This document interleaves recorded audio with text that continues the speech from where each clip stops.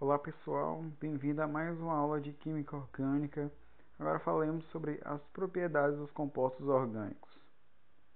O objetivo da nossa aula de hoje é que vocês entendam as diferenças entre os compostos orgânicos e que vocês possam aplicar no cotidiano, entendendo quando é utilizado determinado composto, certo? É, a geometria estrutura geométrica do composto orgânico altera suas propriedades físicas. Altera seu ponto de fusão, de ebulição, sua solubilidade e sua densidade. Por isso é importante ter alguns conhecimentos, é, principalmente com relação à geometria molecular, porque a, a gente observa a cadeia carbônica de forma 2D, mas ela compreende um estado tridimensional. E isso vai afetar o afastamento entre, as, entre os diferentes átomos.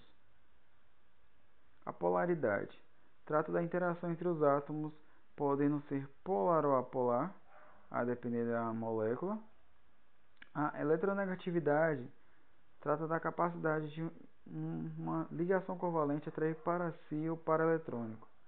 Aqui a gente tem só um exemplo é muito conhecido de como funciona isso, o afastamento entre duas moléculas de hidrogênio de 104,5 graus, que é justamente, justamente desculpe, o afastamento máximo que é possível.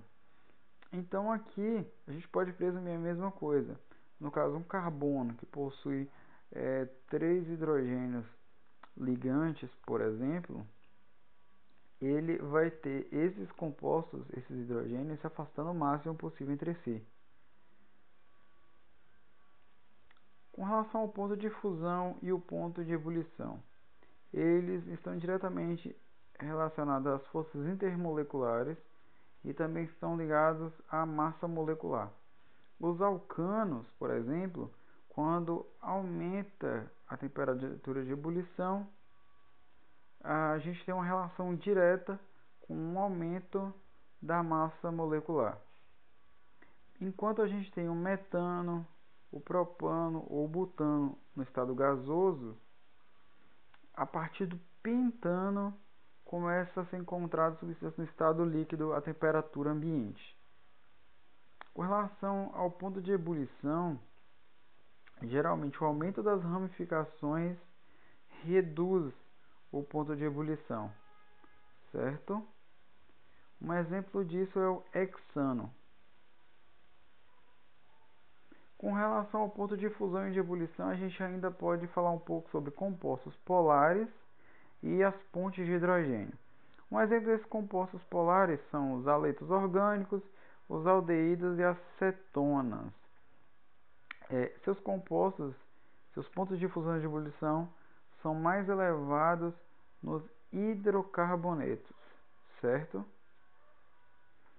Com relação a isso, se deve principalmente ao estado apolar da maioria dos hidrocarbonetos.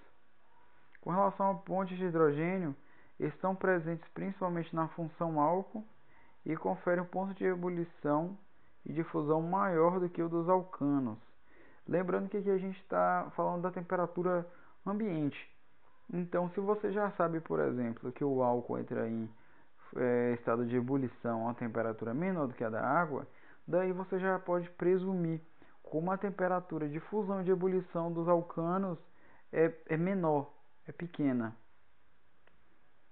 Com relação à solubilidade, também depende das forças intermoleculares e é importante relembrar um conceito antigo que é estabelecido. Substância polar se dissolve em substância polar, substância apolar se dissolve em substância apolar. Ou seja, um solvente polar se dissolve em um soluto, o contrário, desculpe, um soluto polar se dissolve em um solvente polar. Um soluto apolar se, dissolve, se dissolve em um solvente apolar. Os solventes orgânicos geralmente são apolares. Solventes orgânicos, em sua maioria, como o hidrocarboneto, são apolares. Certo? Com relação à densidade, a densidade está diretamente relacionada à massa molecular. sendo que isso tem duas relações. É, tanto o fato da quantidade de cada elemento que a gente tem em uma molécula, já que alguns elementos possuem mais massa do que outros, como o elemento em si. Aqui temos um exemplo abaixo. O carbono e o hidrogênio, que são elementos muito presentes em praticamente todas as moléculas, principalmente as moléculas orgânicas, é, que são as que caracterizam elas. Temos também aqui o flúor, o cloro, o bromo e o iodo.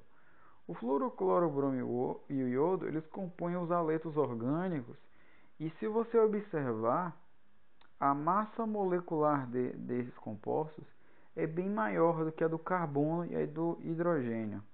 Então, essa relação acaba permitindo com que os compostos que possuam essas moléculas, esses átomos, desculpe, tenham uma massa é, molecular na molécula maior. Então, sua densidade também será maior. Agora vamos dar uma olhadinha na questão do Enem de 2016. O aquecimento de um material por irradiação com microondas ocorre por causa da interação da onda eletromagnética com o dipolo elétrico da molécula. Um importante atributo do aquecimento por microondas é a absorção direta da energia pelo material a ser aquecido. Assim, esse aquecimento é seletivo e, depend e dependerá principalmente da constante dielétrica e da frequência de rela relaxação do material.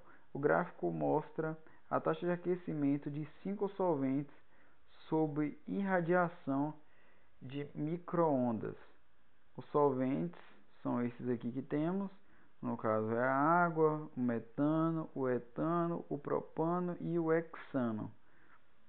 Temos aqui no eixo X tempo e no eixo Y temperatura, certo? No gráfico, qual solvente apresenta a taxa média de aquecimento mais próxima do zero, no intervalo de 0S a 40S, no caso segundos? Letra A, B, C, D ou E. a gente pode concluir que a resposta é a letra E. Primeiro, aqui a questão já cobra que você entenda uma coisa, a partir do nome da molécula, de que molécula está falando.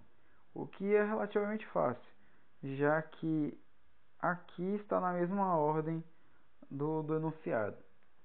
E por que a resposta correta é a letra E? Se vocês pegarem justamente esse intervalo, o intervalo de 0 segundos a 40 segundos, ele é esse aqui, certo? Se vocês observarem justamente o que apresenta menor é, taxa média, o, qual solvente apresenta uma taxa média de aquecimento mais próxima do zero, uma taxa menor, no caso é justamente o hexano, certo? Vocês podem observar a reta dele, a média dele é, se você pegar e somar esses quatro pontos, a média dele vai dar menor do que a soma da média dos quatro pontos de todos os anteriores. As referências utilizadas nessa aula. Obrigado por assistirem. Comentem caso tenham alguma dúvida. Sigam para ficar sempre atualizados sobre novas aulas e, se possível, avaliem o curso.